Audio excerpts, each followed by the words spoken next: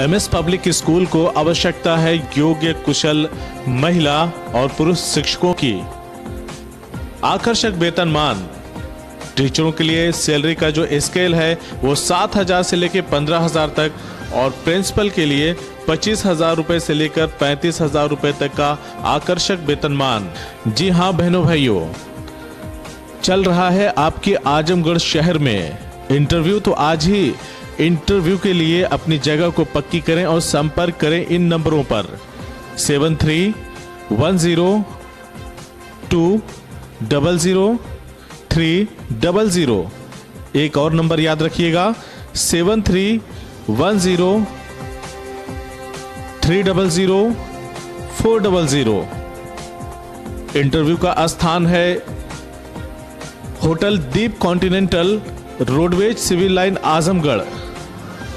Petrol pump के सामने दीप continental hotel में चार तारीख और 11 तारीख, यानी इसी महीने की 4 फरवरी और 11 फरवरी को समय है 10 बजे से 3 बजे तक।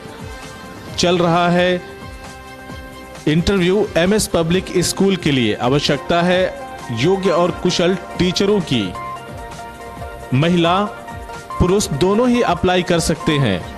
तो आज ही अपने भविष्य को उज्जवल में बनाइए और शिक्षा जगत में अपना एक मुकाम बनाइए और बच्चों को देश के प्रति शिक्षित करके बेहतर विकल्प तैयार करिए। आज ही संपर्क करिए एम एस पब्लिक स्कूल जी हाँ आपके शहर आजमगढ़ में चल रहा है interview. M S public school के लिए मेल फीमेल टीचर्स की आवश्यकता है। वेतन योग्यता अनुसार पता याद रखिएगा, Deep continental hotel roadways civil line, Azamgarh.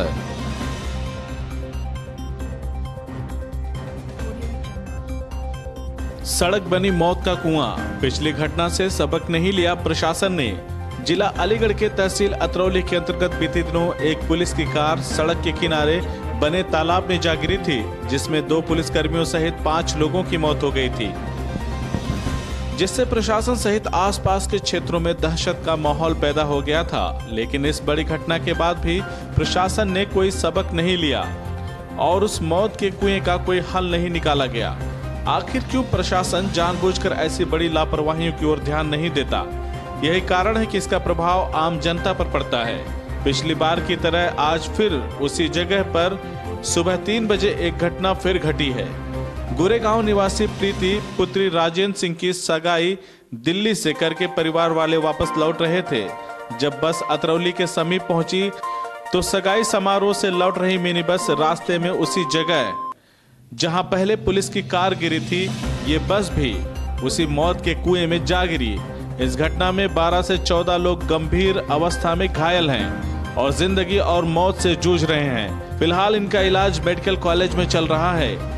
देखना होगा कि क्या प्रशासन इस तरह की घटनाओं को नजरअंदाज ही करता रहेगा या इस तरह की घटनाओं से कुछ सबक भी लेगा। मतलब क्या घटना हुई थी वहाँ? सर वहाँ से दिल्ली से आ रहे थे हम गाड़ी पलट गई पैंतीस लोग थे जिसमें से आधा मतलब आधे लोग घायल भी हैं। चोट आप किन किन के है? मतलब चोट तो और भी लोगों पर मेरे को ये नहीं पता किन किन के हैं। बस कहाँ पर पलटी थी?